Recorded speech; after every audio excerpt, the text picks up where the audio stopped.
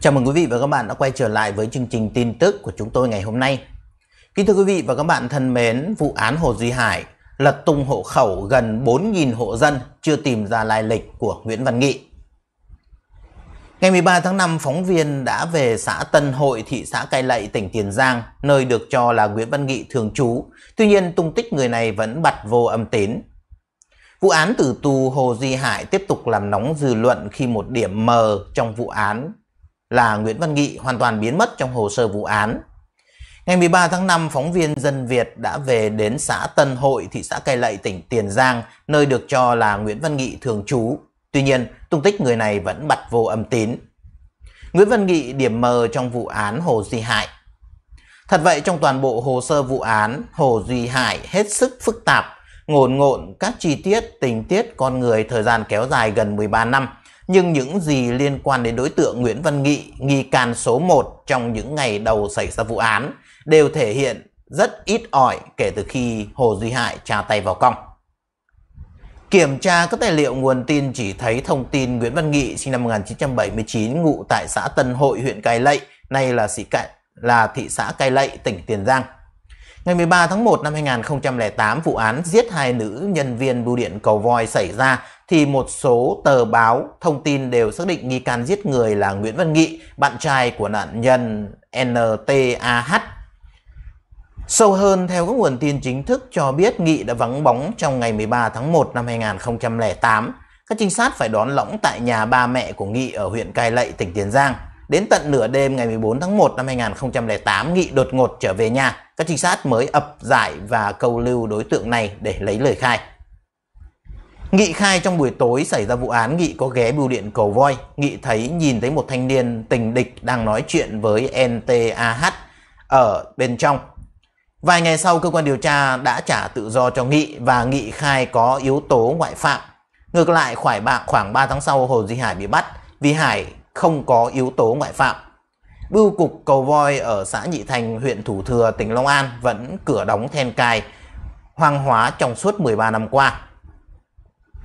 Kể từ đó, từ là nghi can giết người, Nguyễn Văn Nghị thoát trong gang tấc không liên quan gì đến vụ án. Ngược lại, Hồ Duy Hải trở thành thủ phạm gây ra vụ án tại bưu cục cầu voi.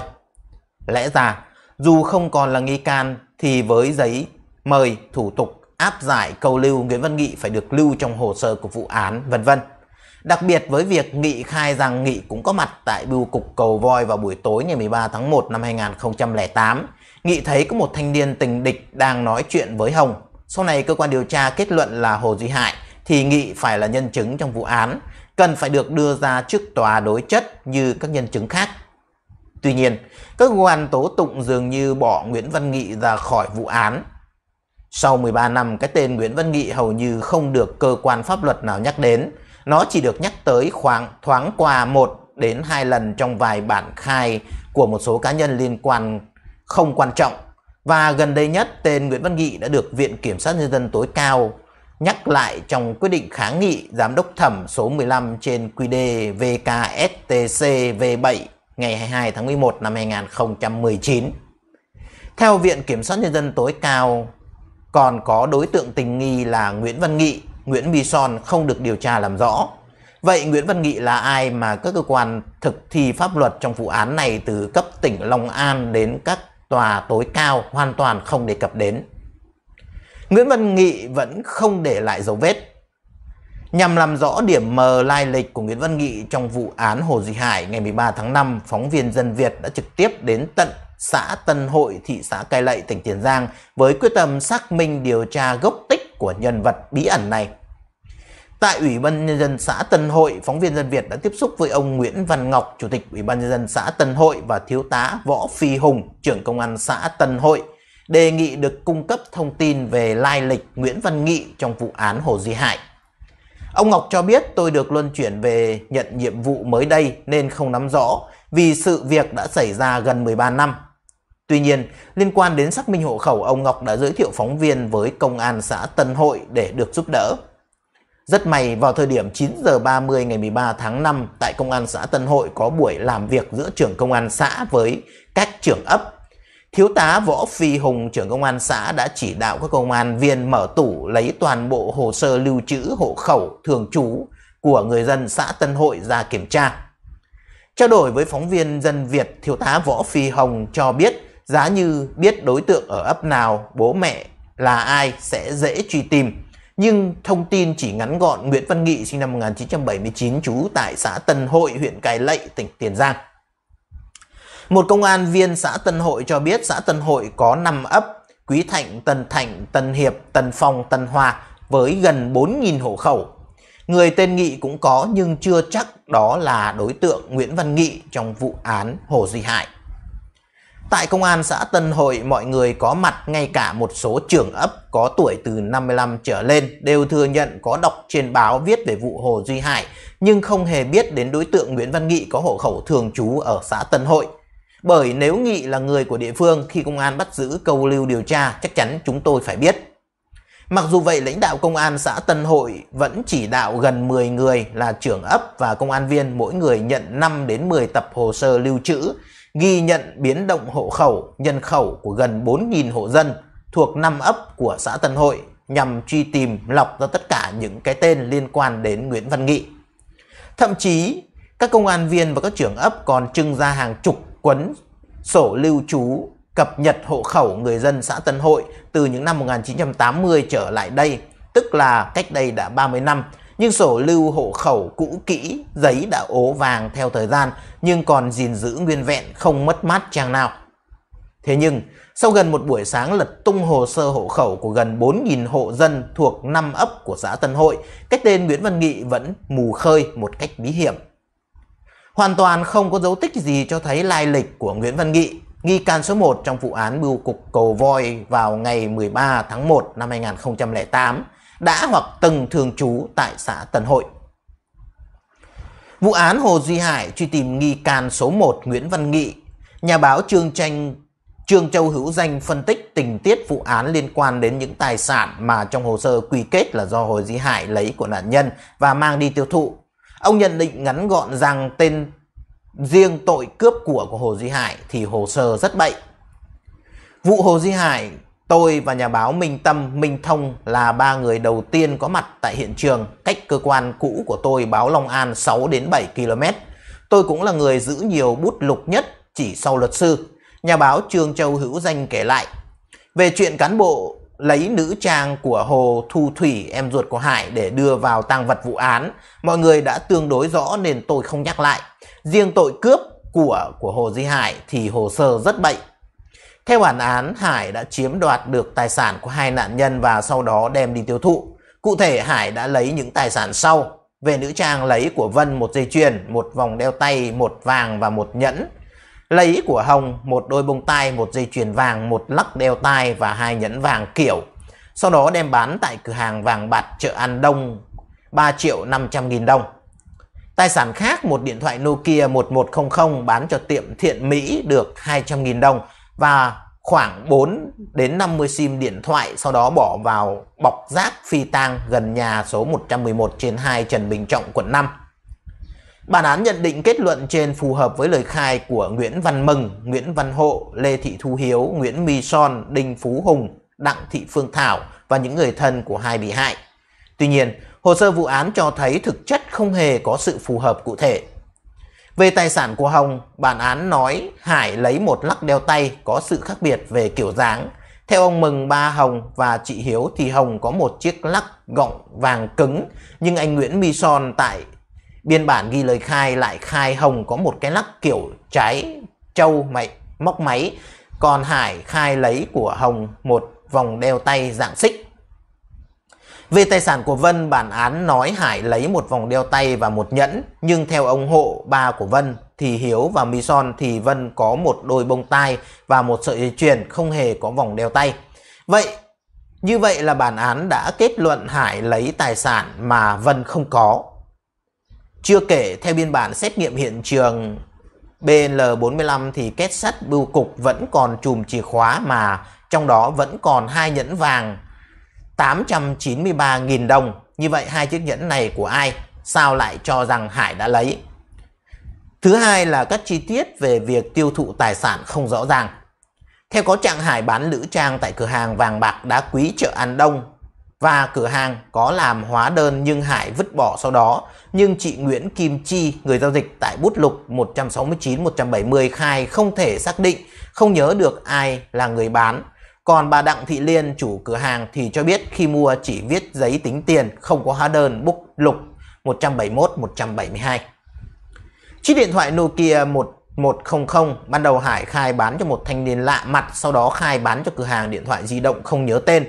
Theo có trạng Hải bán điện thoại cho cửa hàng điện thoại di động Thiện Mỹ, nhưng bà Nguyễn Thị Huệ, chủ tiệm Thiện Mỹ khai không nhớ người bán, bút lục 178, 179. Như vậy rõ ràng là không hề có sự phù hợp như cáo trạng đã nêu. Nói tóm lại 17 anh thẩm phán gần như không dám cho điều tra lại và đang cố đấm ăn xôi, chỉ có điều sạn nhiều hơn xôi. Bạn nào cần bút lục lời khai của chủ tiệm mình sẵn sàng. Võ Thành Quyết, vị luật sư do cơ quan cảnh sát điều tra công an tỉnh Long An chỉ định là đã làm hại Hồ Duy Hải như thế nào? Ông Võ Thành Quyết là cựu sĩ quan công an mang hàm đại tá, từng là trưởng phòng cảnh sát điều tra công an tỉnh Long An, đàn anh của các điều tra viên tham gia điều tra vụ án bưu điện cầu voi. Khi ra làm luật sư trưởng văn phòng luật sư Thành Quyết, ông ta đã mặc nhiên được xem là người có vai vế và thế lực. Đáng tiếc thay vì bằng uy tín và kinh nghiệm của mình giúp giải oan cho nghi can, bị can, bị cáo, kêu oan Hồ Duy Hải, ông ta đã thỏa hiệp với các sai trái của những người tiến hành tố tụng vụ án, góp phần quan trọng đưa bản án tử hình Hồ Duy Hải. Điều đáng tiếc, cơ quan tiến hành tố tụng và các cấp đã không chỉ ra những vi phạm này mà còn sử dụng các bản cùng hợp thức hóa. Ông Võ Thành Quyết ký tên bên cạnh chữ ký của bị can để kết tội Hồ Duy Hải. Trong hai phiên xét xử sơ thẩm và phúc thẩm, Hải có đến hai luật sư là luật sư Nguyễn Văn Đạt do gia đình mời và luật sư Võ Thành Quyết là luật sư do tòa chỉ định. Nhưng luật sư Đạt thì hoàn toàn không được tham gia và các biên bản điều tra và chính trong bài báo chữa trước cả hai phiên tòa. Luật sư Đạt đã vạch ra nhiều sai sót và vi phạm tố tụng trong lời khai. Luật sư Đạt cũng nêu sự vi phạm quy định việc tiến hành nhận dạng phải có mặt người chứng kiến ở toàn bộ 6 biên bản nhận dạng của nhân chứng Nguyễn Bison, biên bản nhận dạng của Nguyễn Tuấn Ngọc, biên bản nhận dạng của Đinh Vũ Thường đều không có người chứng kiến. Từ những sai sót khó hiểu, luật sư Nguyễn Văn Đạt đã đặt ra nghi vấn trước tòa là phải chăng cơ quan điều tra đã mời luật sư Võ Thành Quyết chỉ để ký vào biên bản hỏi cung và chỉ nhằm hợp thức hóa hồ sơ. Như vậy, ở đây có hai luật sư bào chữa cho bị cáo nhưng chỉ có luật sư do tòa chỉ định được tham gia hỏi cung nhận dạng và chính các biên bản ấy lại vi phạm các quy định tố tụng. Luật sư Đạt lại phát hiện và trình bày trước hai cấp tòa các sai sót ấy nhưng không được hội đồng xét xử xem xét. Trước khi hành nghề luật sư, ông Quyết từng có thời gian dài là trưởng phòng điều tra xét hỏi công an tỉnh Long An và làm trưởng công an huyện Thủ Thừa. Rõ ràng ông Võ Thành Quyết là người có nhiều kinh nghiệm, kiến thức, kỹ năng và điều tra nên những sai phạm của ông không thể biện hộ là thiếu kinh nghiệm hay kiến thức. Một sai phạm khác là luật sư Võ Thành Quyết bào chữa chỉ định tức bào chữa miễn phí cho các bị cáo Hồ Di Hải, nhưng luật sư Quyết lại làm hợp đồng thu của bà Loan, mẹ của Hồ Duy Hải 10 triệu đồng tiền thù lao. Liệu có sự dàn xếp nào ở đây hay không? Khi vừa khởi tố vụ án ngày 1 tháng 4 năm 2008, Phòng Cảnh sát điều tra đã có công văn trưng cầu trực tiếp với luật sư đoàn luật sư Long An yêu cầu đích danh luật sư Võ Thành Quyết làm luật sư chỉ định cho Hồ Duy Hải mà gia đình hoàn toàn không hay biết. Điều này trái với quy tắc hỗ trợ pháp lý cho bị can, bị cáo. Đó là cơ quan tố tụng phải gửi công văn trưng cầu luật sư đến trung tâm hỗ trợ pháp lý. Qua đó trung tâm sẽ giới thiệu luật sư cho gia đình lựa chọn, sau đó mới chuyển yêu cầu đến đoàn luật sư. Trong khi vụ án chưa có kết luận điều tra, chưa biết thủ phạm là ai, ông Quyết cứ thúc giục gia đình Hải bồi thường thiệt hại cho hai gia đình nạn nhân, xem như cách khắc phục hậu quả để giảm nhẹ hình phạt. Tuy nhiên, nếu gia đình Hồ Duy Hải chấp nhận bồi thường thiệt hại cho gia đình người bị hại, đồng nghĩa với việc thừa nhận con em mình phạm tội. Sau đó gia đình Hồ Duy Hải cũng có hỗ trợ tiền mai táng chứ không phải là bồi thường. Sau nhiều lần bị ông Võ Thành Quyết thúc ép như vậy, gia đình Hải đã bất ngờ, bất bình đi nhờ luật sư khác. Đến khi Hải đã có luật sư khác thì ông Quyết lại vẫn được cơ quan điều tra chỉ định làm luật sư bảo chữa cho Hải. Tâm lý bình thường ai ở tù mà mức án có thể lên đến tử hình lại không muốn có luật sư bảo chữa. Bản thân của Hải khi gặp luật sư Đạt lần đầu tiên kêu oan, mỗi lần gặp gia đình lại nhắc nhở kêu oan, nhưng trong hồ sơ vụ án ở giai đoạn điều tra, Hải đã hơn một lần từ chối luật sư cho gia đình thuê bào chữa, chỉ chấp nhận luật sư do cơ quan điều tra chỉ định. Đó là điều khó hiểu và hoàn toàn bất thường. Nhưng khả năng phạm tội của Nguyễn Văn Nghị, nghi can số 1 của vụ án này đã biến mất. Điều kỳ lạ là toàn bộ thông tin tài liệu lời khai của Nguyễn Văn Nghị đều đã bị rút ra khỏi hồ sơ vụ án, trong khi Nguyễn Văn Nghị là nghi can số 1 khi vụ án vừa được khởi tố. Ngày 16 tháng 1 năm 2008, ngay khi vụ án vừa được khởi tố điều tra, báo Công an Nhân dân đã có bài viết phân tích rất kỹ về Nguyễn Văn Nghị với tựa đề Vụ hai nhân viên bưu điện cầu voi bị giết, nghi can là bạn trai của nạn nhân. Bài báo viết rằng, các nhận định đều đều tập trung vào nghi can Nguyễn Văn Nghị vì anh này nổi ghen do thấy Son có mặt ở cầu voi. Hơn nữa Hồng không nghe lời anh ta mà đoạn tuyệt với Son.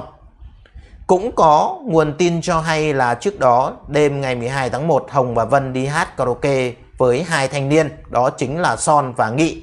Hiện trường để lại cho thấy không có dấu hiệu nạn nhân bị cưỡng hiếp mà thể hiện rõ một sự xung đột cao độ giữa nạn nhân và hung thủ. Người dân xung quanh cho biết có nghe cả tiếng la của cô gái nhưng nghĩ là đó là sự dỗn đùa thường tình và cũng của những cặp tình nhân trẻ nên không đến xem rõ thực hư ra sao. Về việc này, luật sư Lê Công Định đặt ra nghi vấn. Câu hỏi trọng yếu cần đặt ra là vì sao toàn bộ bản cung và tài liệu liên quan đều nghị, đến nghi can Nguyễn Văn Nghị bị rút khỏi hồ sơ vụ án Hồ Duy Hải.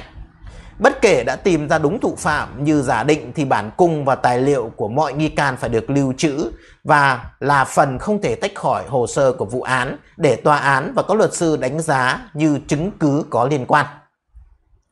Lý do nào và Viện Kiểm sát các cấp xem xét dấu hiệu về hành vi làm sai lệch hồ sơ tố tụng chưa?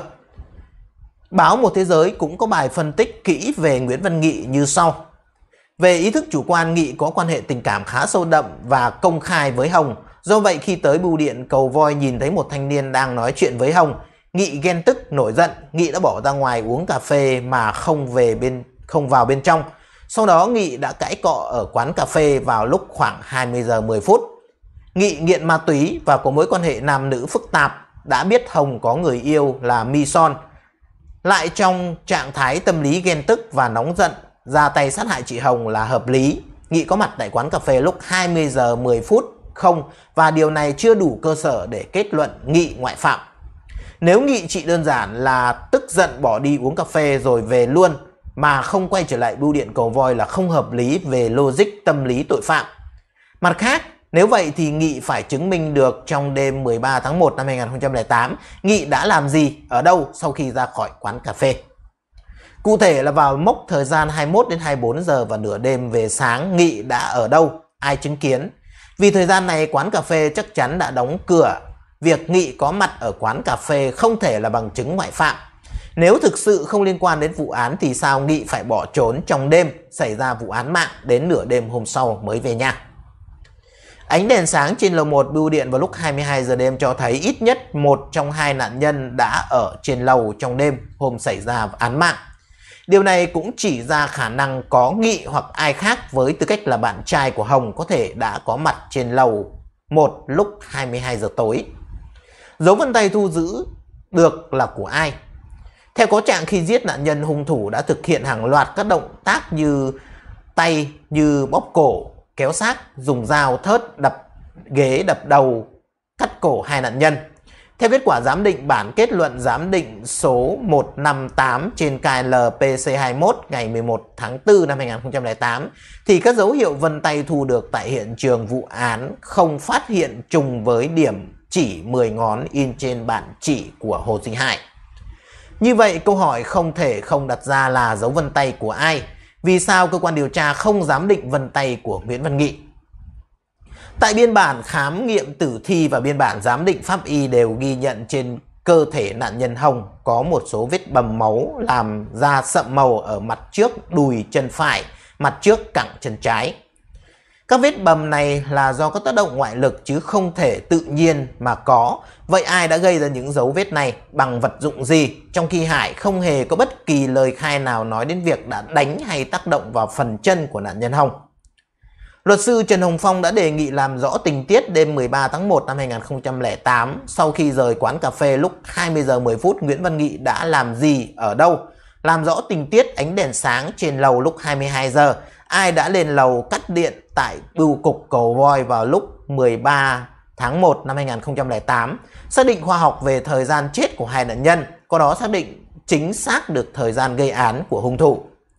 Đồng thời tiến hành giáp định phân tay đối với Nguyễn Văn Nghị so sánh với mẫu dấu vân tay của hung thủ thu lại tại hiện trường, giải thích vì sao không triệu tập Nguyễn Văn Nghị là nhân chứng trong vụ án, vì sao toàn bộ thông tin tài liệu lời khai của Nguyễn Văn Nghị đều đã bị rút khỏi hồ sơ vụ án.